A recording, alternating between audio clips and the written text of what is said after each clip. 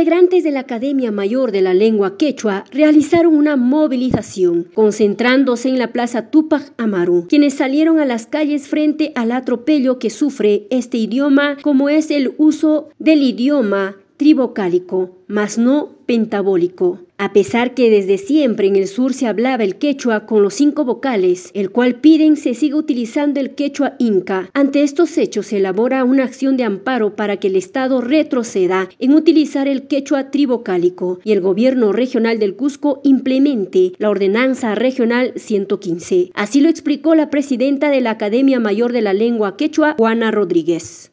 La Academia de la Lengua Quechua, juntamente con el pueblo, con la Federación de Campesinos, la Federación de Trabajadores de Construcción Civil, el Instituto Panaca eh, y otros, juntamente con la Academia, estamos saliendo nuevamente a protestar sobre el atropello que, que se está haciendo con el idioma inca, con el idioma cosco, collao. Y entonces lo que queremos es que se restituya en el pan analfabeto, el alfabeto, disculpe, eh, las vocales E y O, como debe ser, porque el sur siempre, desde tiempos del Tahuantinsuyo, ha hablado y ha escrito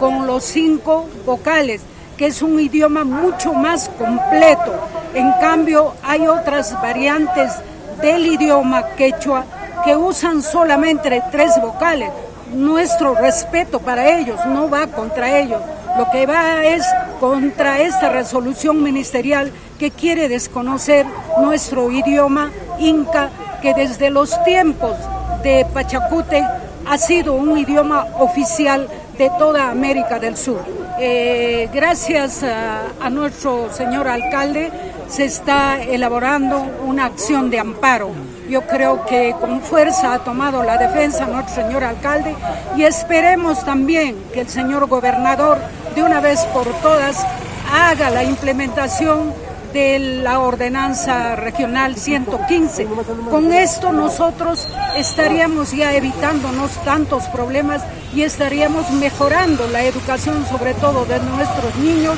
y estarían siendo capacitados nuestros maestros en el idioma que, eh, original que nos corresponde. Entonces hago un llamado para que nuestro señor gobernador y todos los funcionarios que tengan que ver con la educación bilingüe intercultural ya se pongan fuertes en el cumplimiento de la descentralización de la educación, especialmente lo referente a la educación bilingüe intercultural. La lucha por el uso de la lengua quechua es por varios años, el cual pretenden confundir a nivel nacional y discriminan sin interpretar y utilizar el idioma mater e inca en la ciudad del Cusco. Nuestro idioma quechua inca, nuestro idioma cosco, que Inca Garcilaso de la Vega se negó a llamarle quechua incluso, era un idioma oficial que todo el mundo, que todo el estado del Tahuantinsuyo había aceptado.